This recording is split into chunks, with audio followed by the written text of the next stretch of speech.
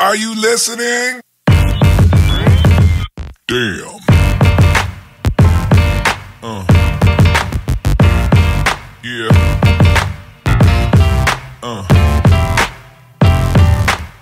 It's your girl Mimi and in today's video we're going to talk about how you can start your very own business. When you're starting your very first business you want to make sure it's something that you're passionate about otherwise it's going to show in your work. If it shows in your work people are going to think like oh maybe they kind of just want my money. People do feel when you're in it just for the money so make sure it is something that you're definitely interested in doing. Figuring out your why why do you want to start this business? Is it because it's something that drives you to start your business every day? Is it something that makes you feel like you have to get up in the morning to do? Or is it something that makes you feel like, oh, this is going to pay the bills? This is going to make everyone else happy? Is it something that you're doing for you?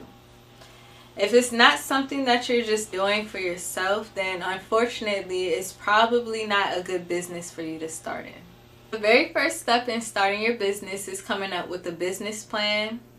With your business plan, it describes every detail, well, just about every detail that you want to have in your business. Your business plan should include your executive summary, company description, branding plan, your marketing plan and timeline, your team members and roles, and your financial summary and funding if necessary. In another video, we're going to discuss in detail how to make a business plan. Alright, great. So now we figured out this whole business plan shenanigans. The next part is to get your EIN number.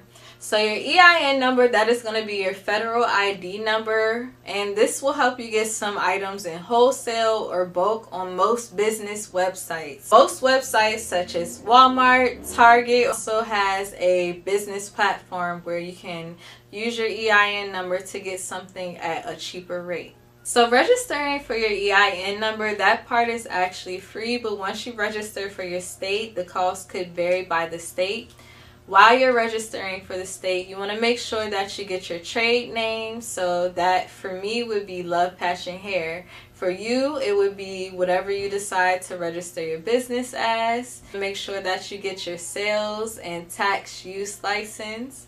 And again, that could vary by state. Some states call it a resale license. However, that would allow you to charge legally the state's tax amount.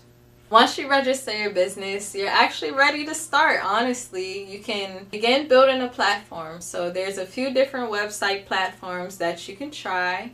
Before I started to commit to a website, I did use Google Sites because it is free and it is a great starting point for just starting a business. One thing you want to do is get well acquainted with Google or Microsoft.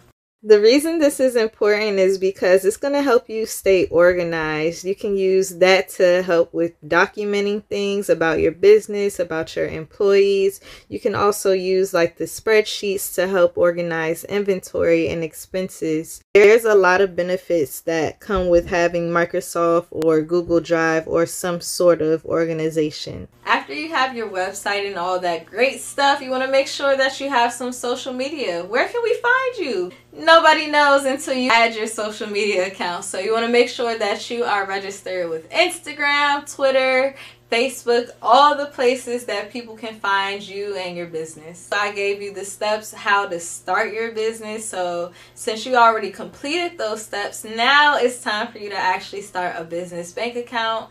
And you want to make sure you take to them your EIN number, your tax ID number, and all those great things so that way they can register you with a actual professional bank account that you can use when filing your taxes. Hopefully after this video you guys are about to start your own business. If you feel like you still have some questions, make sure you guys DM me at Love Passion Hair or you can also schedule yourself some business coaching lessons and I have that on my website as well and that will be in the bio.